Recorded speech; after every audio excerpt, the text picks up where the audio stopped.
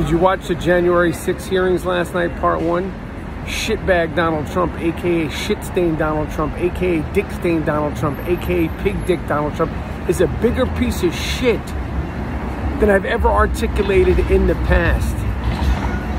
Nobody, except for that fat fucking slob, believes, supports, or endorses any of his fucking theories about an election being stolen or rigged. Even his fucking daughter, his attorney general, William Barr, remember that fucking wilted fucking greasy fuck? He said his claims were bullshit and he told Pig Dick Donald Trump that they were bullshit.